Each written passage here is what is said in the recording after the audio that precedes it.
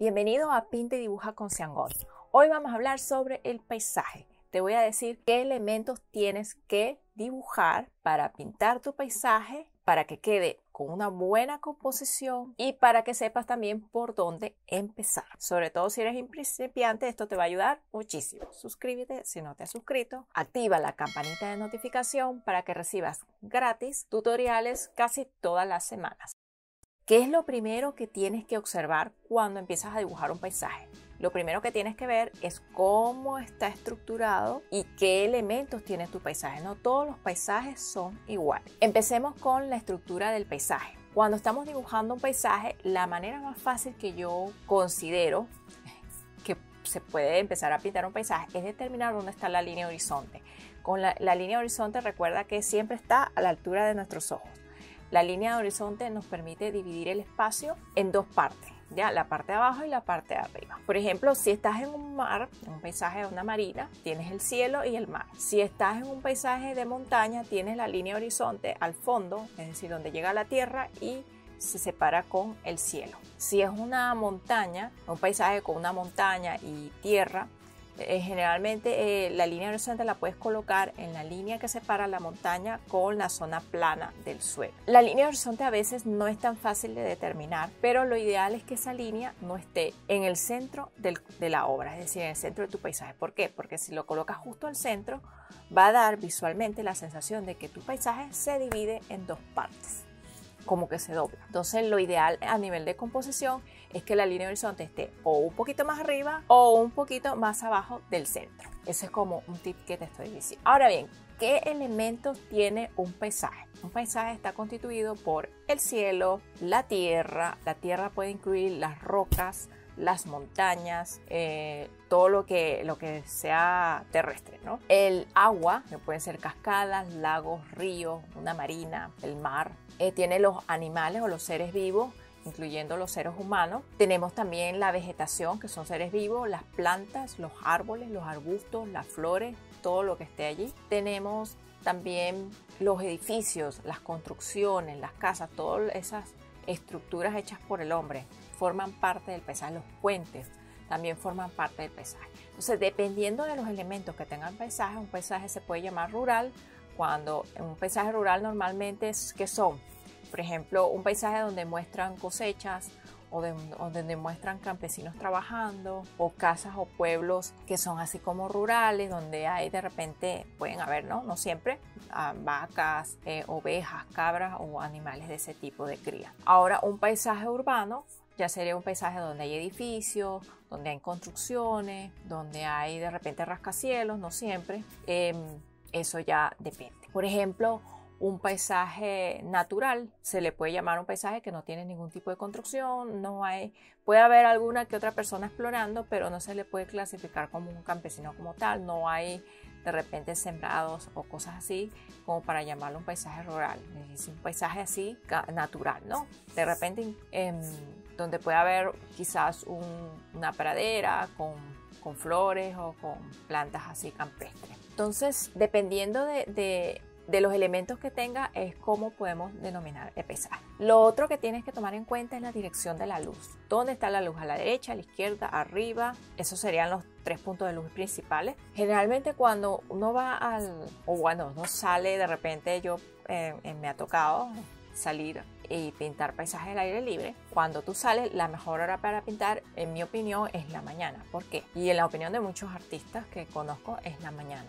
Porque en la mañana la luz del sol no está totalmente arriba, entonces no, cae perpendicular sobre las cosas y no crea esas sombras tan fuertes y un poco eh, planas. En cambio, en la mañana las sombras y las luces son más suaves, son también más cálidas y se ven como más bonitas, en mi opinión. Ya en la tarde, aunque las sombras son un poquito inclinadas, a veces tienen, dependiendo del sitio donde viva, es, el tono es un poco como más gris o más oscurecido, o si de repente son como donde yo vivía antes, que los atardeceres eran muy rojos, muy, muy, naranjas intensos. Cuando, por ejemplo, era el, la tercera es entre amarillo y naranja, todo lo que rodeaba alrededor se veía con un tono naranja, bastante fuerte. Es decir, por ejemplo, si la pared era blanca, se veía naranja en un momento del, del atardecer. Y si era el atardecer así como rosado o poco entre violeta, en las paredes y las construcciones, todo lo que estaba alrededor eh, tenía,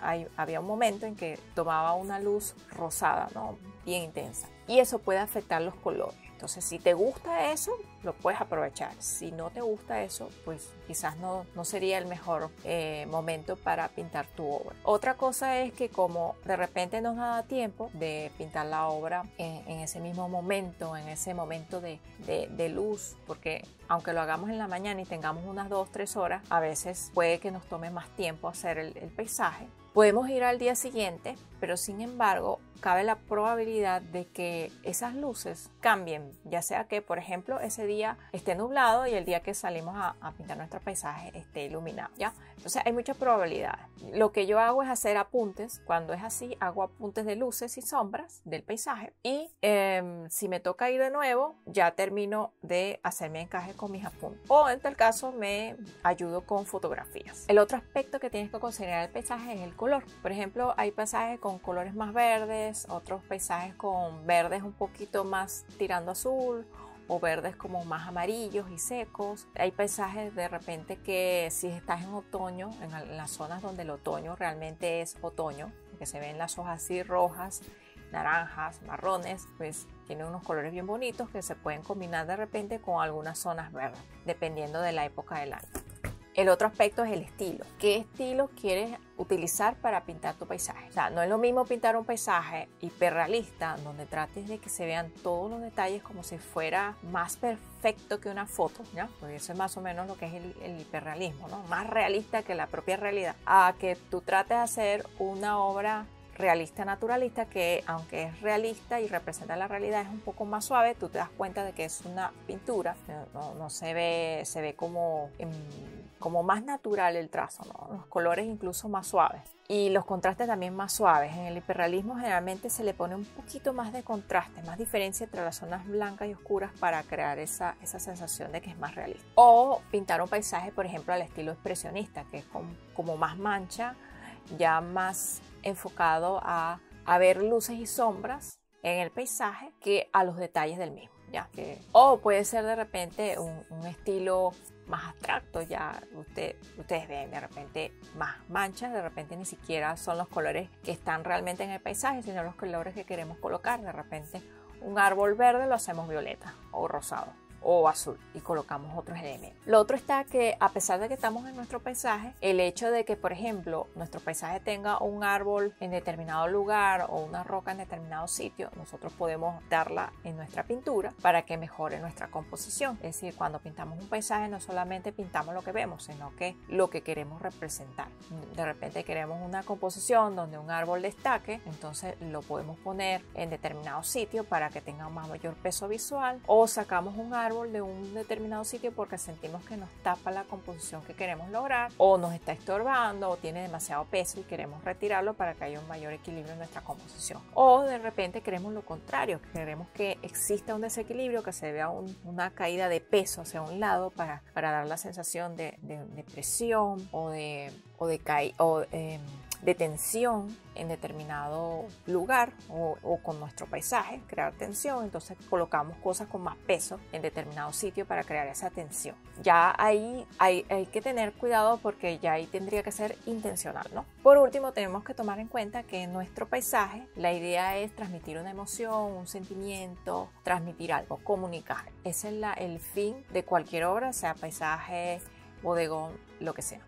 Entonces, ya con esto espero que tengas una idea de qué es lo que debes tomar en cuenta a la hora de hacer un paisaje y cómo debes empezar a dibujar un paisaje. Siempre empieza con la línea de horizonte y después ves agregando los demás elementos. A veces puedes aprovechar los espacios vacíos, puedes ver las líneas o los ángulos de inclinación que forman de repente la montaña o, los ríos o las cascadas. Em, también puedes observar cómo, cómo existen zonas que se dividen en el paisaje, siempre hay zonas en, que se puede dividir el paisaje, que es el objeto que ocupa más espacio, si es una casa, si es una montaña, si es un árbol, ¿ya? siempre ubicarlo primero y a partir de ahí también puedes empezar a hacer un paisaje. Hay muchas maneras de abordar un paisaje o cualquier otro dibujo. Yo acá te estoy hablando específicamente de paisaje. Espero que te haya servido esta guía. Y bueno, si no estás suscrito, suscríbete, deja tu comentario, expresa tus ideas. Em, si tienes algo que aportar, puedes escribirlo también para ayudarnos a todos. Y bueno, muchísimas gracias. Hasta luego y nos vemos en un próximo tutorial. Si estás buscando cursos online de dibujo y pintura, te recomiendo visitar mi página web ciangot.com.